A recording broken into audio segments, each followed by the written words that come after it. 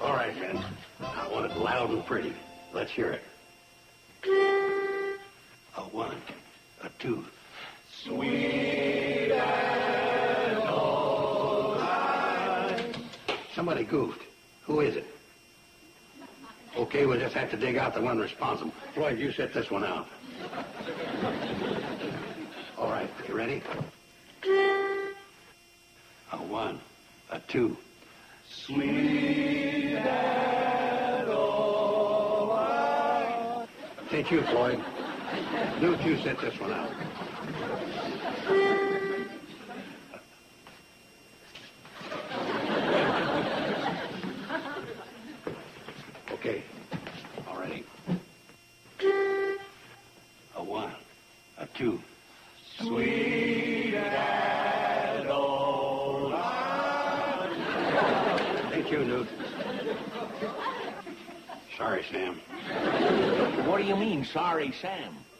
You just ain't cutting it. You made a clinker. Good, just a doggone minute. How do you know it was me? With a simple process of deduction. It ain't Floyd, it ain't Newt. It's got to be you. Who else is there? There's one more. Who? Oh, come on. I'm the leader. I ain't leaving till I'm proved guilty. Okay, then you sit one out. Ready, man. A one, a two. Sweet and all You sure you're singing the right note? Oh, you mean everybody's out of step but you, is that it? Well, uh, but I'm the leader. Hey, I bet I know what it is. This pitch pipe's out of tune. That's gotta be it. Well, you guys don't want me around, just say the word. What word would you like to hear, Joe? You mean you'd really say it? Uh, Joe, come here a minute.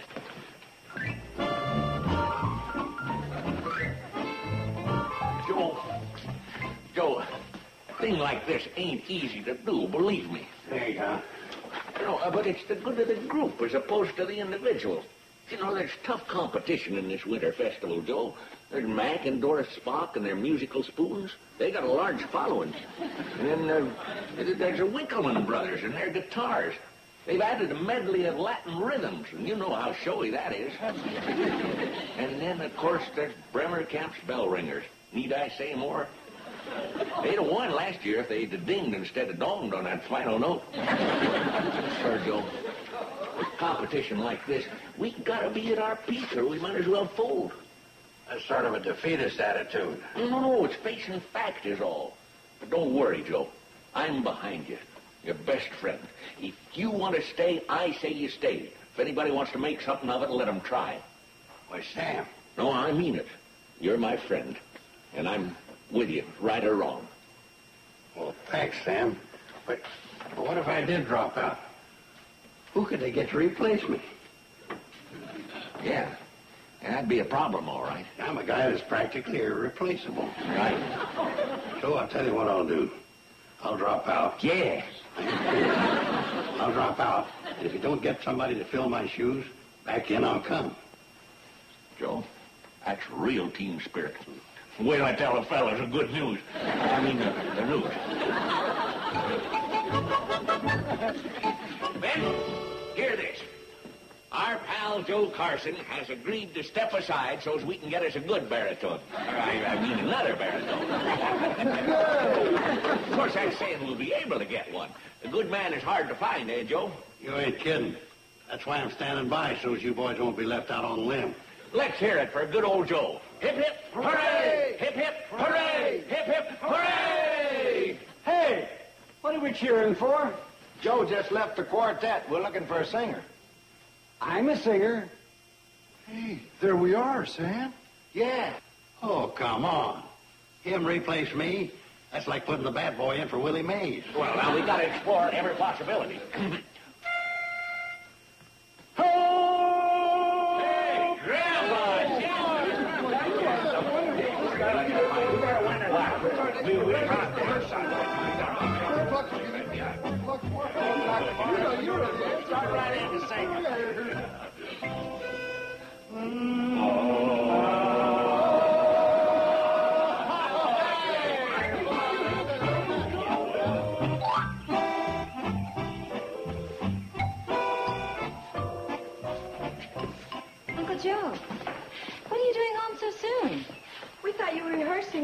barbershop quartet. Yeah. Well, I decided to give up the quartet. Give it up? But I thought the whole idea for the quartet was yours in the beginning. And you've got a good chance of winning the talent contest for the Winter Festival. I figure I got a better chance from the magic act.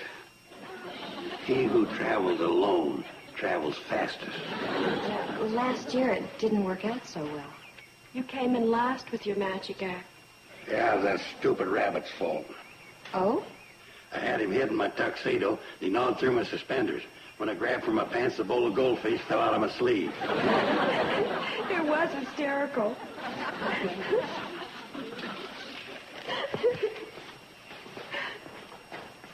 It wasn't meant to be. I uh, guess I shouldn't have laughed. I guess you shouldn't have.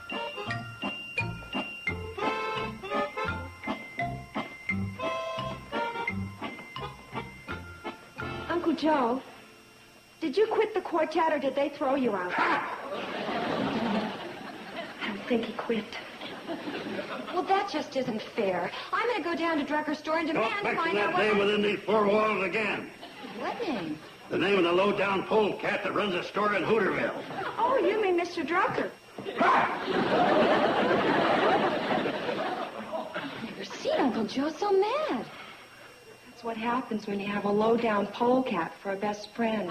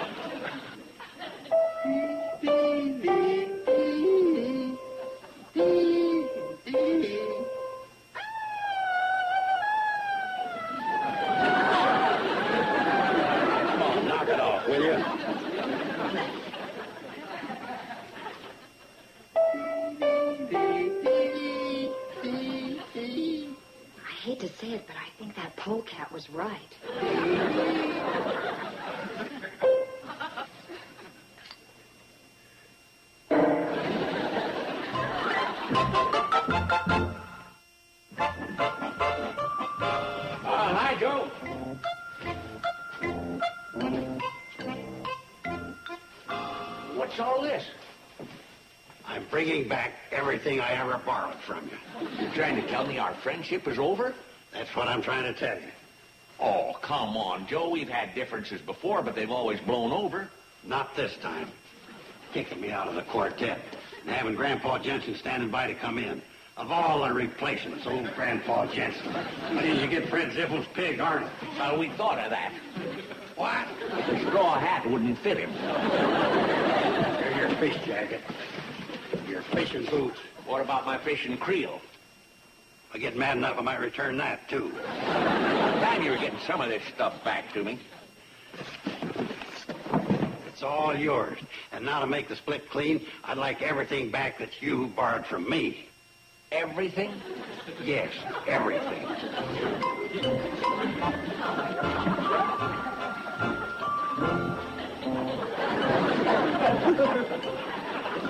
Fish sinker? From our last fishing trip. And I'd appreciate it if you'd tear up the IOU I gave you for it.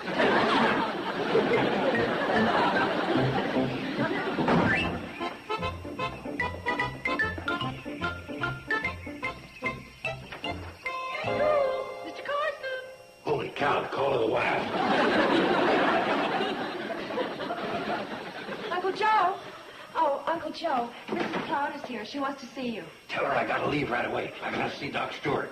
You're sick? When did this come on? As soon as I heard her call. Oh, pretty dazzling footwork, huh? Yeah, that's pretty good for her. Hi, Selma.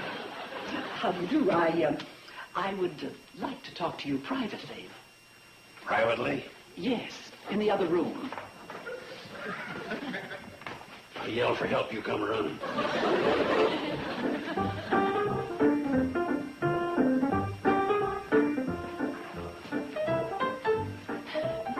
Be safe.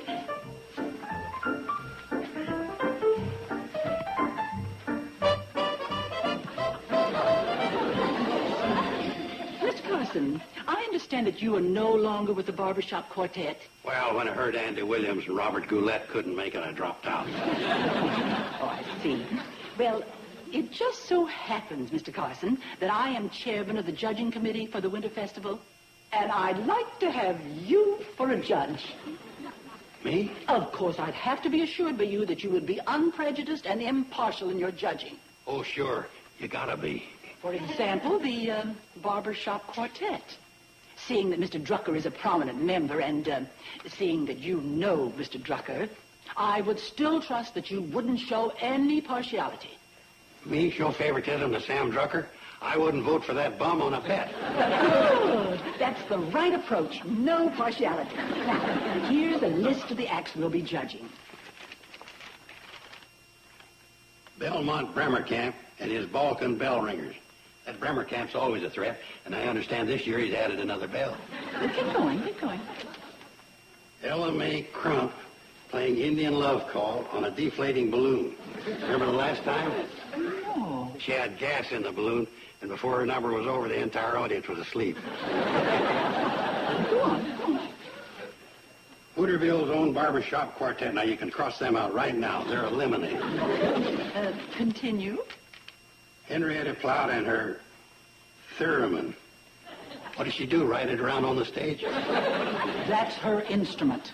Oh, she makes such lovely ethereal music. Oh, it's out of this world. How come your daughter can even enter the contest? Well, why not? You're head of the judging committee. Beautiful arrangement, isn't it? oh, not, not that I would show favoritism. No, of course not.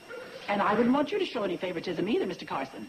In spite of the fact that I'm considering employing the Carson Elliott Enterprises to uh, crop dust my acreage in Crabwell Corners. I guarantee you we'll do a good job.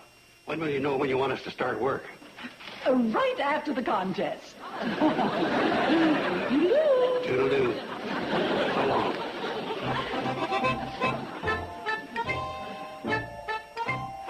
And then she talked Uncle Joe into being a judge along with her. And I guess you know where that leaves Mr. Drucker and the quartet, considering the way Uncle Joe feels. Well, what do you expect me to do? Not you, Steve. He's his partner, and he should have his interest at heart. Well, you know Steve and I like to stay out of things like this. Did it ever occur to you what might happen? Henrietta Plout could win with her theremin. And have you heard her play that thing? She makes a dentist drill sound good. Yeah. Okay. We'll think of something.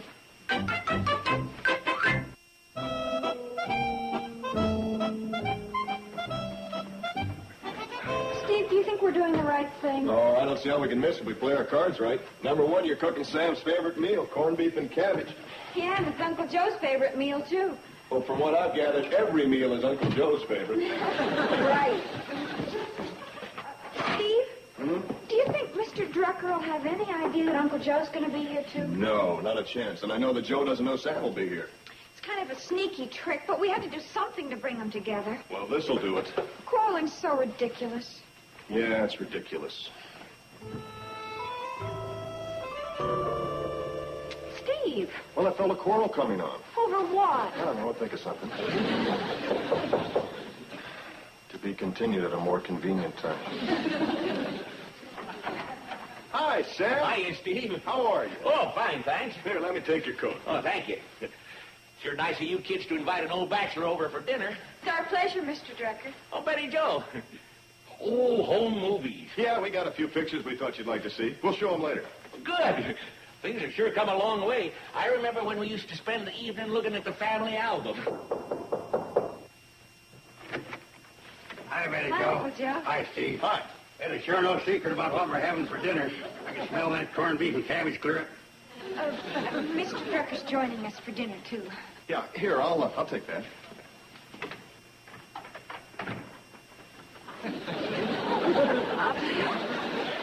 Certainly is brisk this evening, isn't it? Oh, yes. Uh, much brisker than, than last evening. oh, I, I got it. Let's show the home movies before dinner.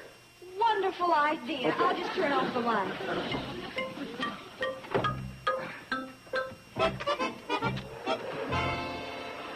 Well, well, well. Now look what we have here. Two old friends at a party. At the party the night before, these two old friends left on their wonderful trip to Topeka. Right, Uncle Joe? You're right about that going away stuff. But it's for a wonderful time. I never was more miserable in my whole life. And that goes for me, too. Now, wait a minute. Now, I thought you guys had a good time. Well, we would have had. He tried to steal this widow from me that I met in the lobby of the hotel. I stole her from you. You stole her from me. Oh, yeah? I saw her first. You did not. I met her at the gumball machine long before you ever saw her. Not only that, she was into me for three gumballs. Well, what finally happened? Oh, that was the topper of all time. While he and I are arguing, she runs off with this hayseed from Mason City. I learned later she owned a sleeve holder factory in Dubuque, all free and clear. Well, uh, why don't we just continue the movies? Yeah.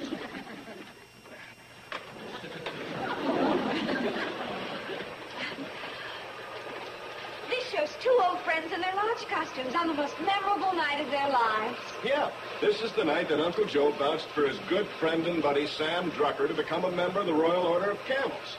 Right, Sam? Right. And turn that thing off. That's one night I'm trying to forget.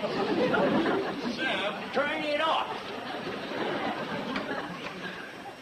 Mr. Drucker, isn't it true that in order to join the lodge, a loyal and trusted friend has to vouch for you? And that friend was Uncle Joe. Yeah, that's right. If he'd just vouched for me and let it go at that, it would have been okay. But no, he insists on carrying a ceremonial candle. What happened? Right in the middle of the ceremony, while we're trudging up the sands of time, he trips and sets fire to the oasis. I'd be so upset I forgot the whole ritual. They put me on probation for six months and took away my hump. Let's try it again. And uh, this time, no narration.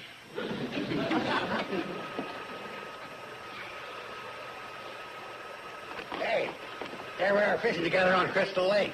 yeah, that was quite a day. I think we finally hit on a happy one. Yeah, maybe this will do it. Hey, that was the day of the fishing derby, wasn't it? Didn't you win that one? No, I think you won it, Joe. Hey, I'm wearing my lucky hat with my double dazzler spoon sticking on it. Yeah, that's the one that always hooked the big one. Yeah. Wonder what ever happened to that spoon. That's what happened. That's what happened to it. What are you laughing about, you clumsy ox?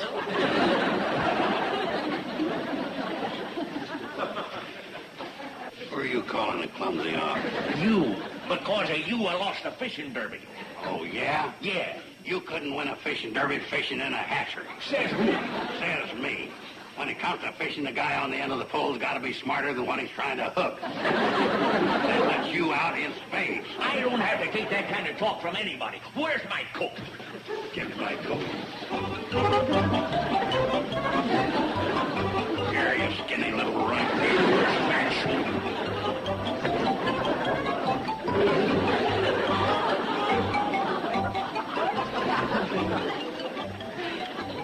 We didn't quite patch things up. Oh, Not quite.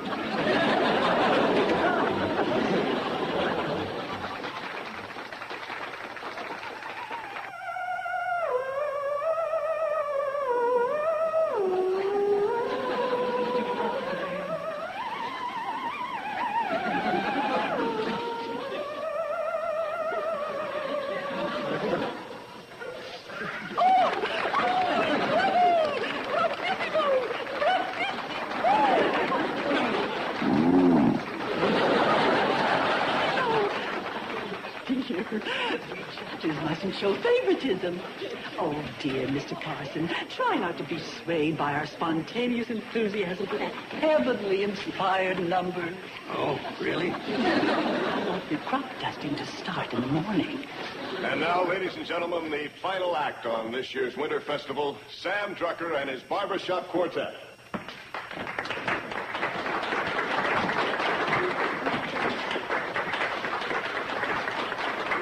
Think get me a drink of water during this stage wait. You have to hear them out. Now, be fair. Besides, it's a rule.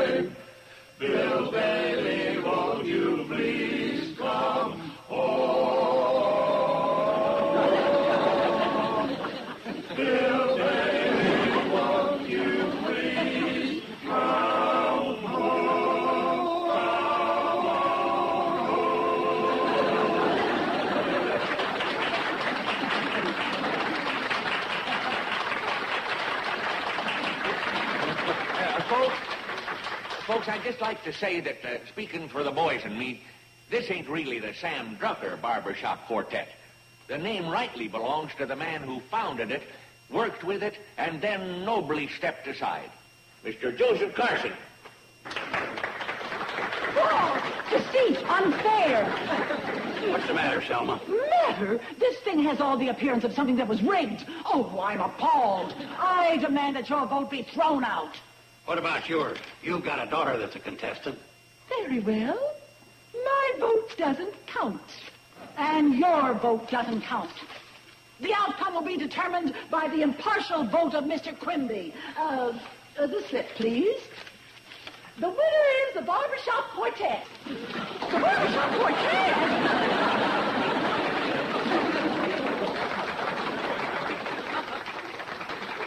Well, you told me to vote for somebody else just to make it look good.